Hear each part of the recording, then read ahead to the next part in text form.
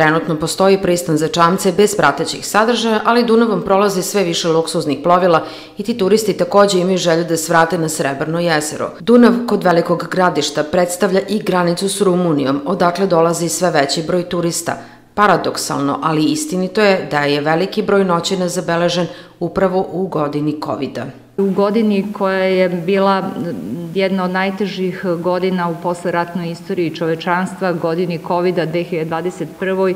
Republika Srbija je zabeležila e, najbolje rezultate u turizmu e, koji su podjednako dobri kao i naš najbolji rezultat e, ikada, to je bio 2019. godine. Imali smo prihode od milija, preko milijardu i 400 miliona eura, kao što smo imali recimo u 2019. imali smo preko 10 miliona noćenja i e, više od 2 miliona i 700 e, dolazaka turista. Nesporno je da će turisti i u budućnosti u Srbiju dolaziti kopnom, automobilima, autobusima, vozovima. Taj trend će i dalje biti izražen.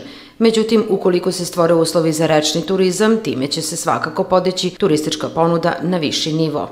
E, smatramo da sa jednom infrastrukturom putnom, saobraćenom koju Srbija ubrzano razvija i ovaj kraj e, u tom smislu će vrlo brzo dobiti e, infrastrukturu putnu i saobraćenu kakvu zaslužuje i da je sada na nama da paralelno razvijamo i ovu drugu vrstu infrastrukture, turističke, posebno ovu koja se oslanja e, na razvoj nautičkog turizma i verujemo da će to u narednom periodu značajno, značajno doprineti e, ne samo porastu broja turista, nego i porastu broja e, građana koji će biti zainteresovani da se bave turizmom kao jednom privrednom granom koja zaista može da omogući jedan ekonomski razvoj i koja može da omogući i mladim ljudima ne samo da, da se bave, nego i da se možda vrate ovde i da vide mogućnost za ostanak ili za e,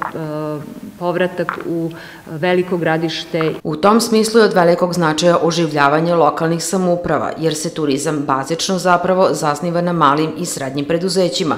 Njihov opstanak i umnožavanje je ključno za opstanak turizma u lokalnim zajednicama. Zato su, dodaje ministarka, ovakvi projekti kao ovaj za izgradnju marine veoma važni za Srbiju. Za opštinu Veliko gradište izgradnja marine znači izuzetan rast turističkog potencijala i samim tim i veću posećenost ove opštine. Na ovaj način dugoročno će se približiti domaćim i stranim turistima sve prirodne lepote naše zemlje. U proteklih šest godina opština Veliko gradište je kroz različite projekte vezane za turističku infrastrukturu dobila kod Ministarstva trgovine, turizma i telekomunikacija više od 180 miliona dinara.